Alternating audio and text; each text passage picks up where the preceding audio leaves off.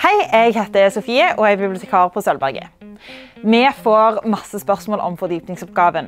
og Et av de spørsmålene vi får aller oftest, det dreier seg om problemstilling. Ofte så har eh, de som kommer med spørsmålet, bestemt seg for ei bok, men de vet ikke helt hva slags problemstilling de kan bruke. Hæ?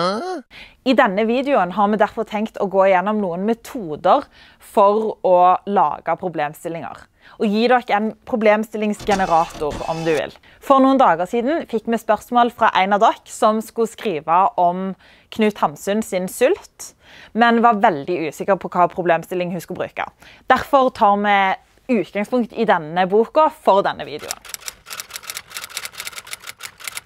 En metode du kan bruke, er å se på samme tema i bøker av to forskjellige forfattere. Så det første du bør gjøre når du har bestemt deg for bok, det er faktisk å finne ut hva den handler om. Dette bør du gjøre til og med før du leser boka. og Da mener jeg ikke at du skal finne ut hele plottet, sånn at boka blir spoila for deg, men rett og slett bare finne noen stikkord. Hva er egentlig temaene i denne boka? Hvis du tar utgangspunkt i eh, 'Sult' av Knut Hamsun, så vil du fort finne ut at den handler om ensomhet, fremmedgjøring, fantasi og ikke minst om byen Oslo. Og et raskt raskt Google-søk vil vise deg at det finnes ganske mange andre bøker med disse temaene. Når du har søkt litt, så finner du helt sikkert en roman som du blir nysgjerrig på, og som høres spennende ut, som du vil lese og passe godt med temaene i Sult. Du kan se på hvordan byen Oslo skildres i Sult og i romanen Beatles av Lars Saabye Christensen. Du kan se på ensomhet, altså skildringen av ensomhet, i Sult og i den grafiske romanen Bergen av Anja Dale Øverby. Eller du kan se på hvordan fremmedgjøring skildres i Knut Hamsuns Sult og i Albert Camus sin Den fremmede. En annen metode du kan bruke, er å sammenligne flere bøker fra samme forfatter. Så hvis du tar utgangspunkt i to bøker av samme forfatter, er det viktig at du ser på et aspekt eller ei side ved disse bøkene. Hvis du prøver å se på alt sammenligna hele Markens grøde av Knut Hamsun med hele Sylt av Knut Hamsun, så blir det for mye å gape over, og oppgaven din blir sannsynligvis altfor generell. Men det du fort finner ut hvis du ser på nettopp disse to bøkene, nemlig Sult og Markens grøde, er at de er ganske forskjellige. Og dette er faktisk et veldig godt utgangspunkt. Hvis de er forskjellige, så har du jo mye å drøfte. F.eks. kan du se på miljøskildringer i de to bøkene. I Sult befinner vi oss i et klaustrofobisk bymiljø, mens i Markens grøde så er vi i et værhardt sted i Nord-Norge. En annen ting som er forskjellig i disse bøkene, er hvordan kvinner fremstilles. Det er òg et spennende tema å se på. Hvordan, hva slags rolle har kvinnene i denne boka? En annen ting du vil legge godt merke til med disse to bøkene, er at hovedpersonene er ganske forskjellige. I Sult er hovedkarakteren forvirra og desorientert helt i sin egen verden, mens i Markens grøde er hovedkarakteren Isak både bestemt og viljesterk. Alle disse tre aspektene, disse sidene ved boka, er gode utgangspunkt for en problemstilling. Du kunne jo valgt masse annet her òg. Du kunne f.eks. sett på språk eller fortellerstil. Men poenget er at du skal velge deg én ting, sånn at det er lettere å skrive en god oppgave.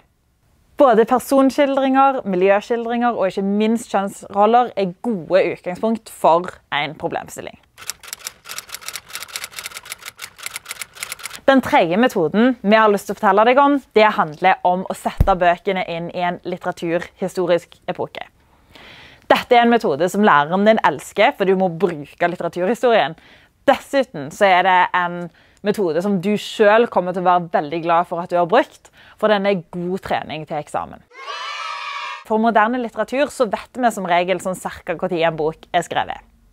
Dessuten så har vi delt opp litteraturhistorien i såkalte epoker for å gjøre det litt lettere for oss å forstå hva som er typisk for de forskjellige delene av litteraturhistorien. Og Disse epokene er selvfølgelig òg tidsbestemte. De foregår fra et, ca. ett årstall til ca. et annet årstall. Hvis vi tar utgangspunkt i Sult, så er den skrevet på 1890-tallet og et tidlig eksempel på modernistisk litteratur. Derfor må du stille deg selv spørsmålet hva er typisk for modernistisk litteratur, og fins dette i Sult? Dessuten skal du òg se på hva som ikke er typisk. Er det elementer ved sult som er utypisk for den modernistiske perioden? Det er viktig å huske at perioder er bare et pedagogisk virkemiddel. Vi snakker om epoker for å gjøre det lettere å lære litteraturhistorie. Denne boka er altså ikke 100% modernistisk. Det finnes ikke noe som heter 100% modernistisk.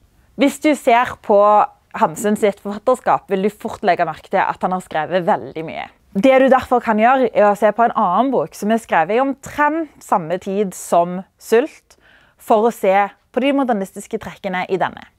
For eksempel så kan du se på Mysterier av Knut Hamsun. Har denne òg modernistiske trekk? Og i så fall er det de samme modernistiske trekkene som du finner i Sult, eller noe annet?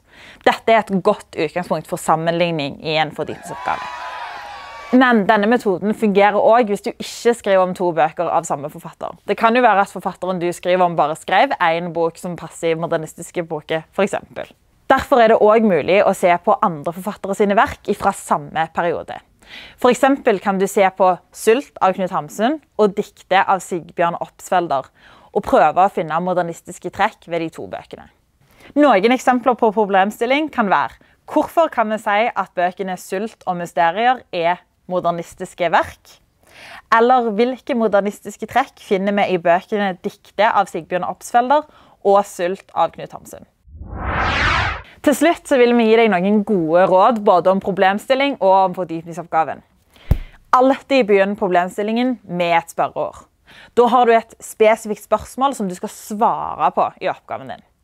Det andre er ta utgangspunkt i to bøker for oppgaven din. Hvis du tar utgangspunkt i to bøker, så kan du sammenligne og drøfte og diskutere. Og dette er ord som læreren din elsker, og metoder som læreren din elsker. Og det siste handler faktisk om læreren din. Det er nemlig at du alltid skal høre på læreren din, alltid skal spørre læreren din hvis du er usikker. Dette rådet trumfer òg det andre, så hvis læreren din sier at du skal velge tre bøker, eller at du skal velge ei, så er det det du skal høre på. Lykke til med fordypningsoppgaven. Sånn, greit. Da holder jeg den sånn. for nå skal jeg... Du sier ikke at hånda mi ser rar ut nå? Da gjør jeg sånn, sånn. Selvfølgelig. Men bare løft den. Prøv å ha den litt høyt oppe. Ja, jeg skjønner.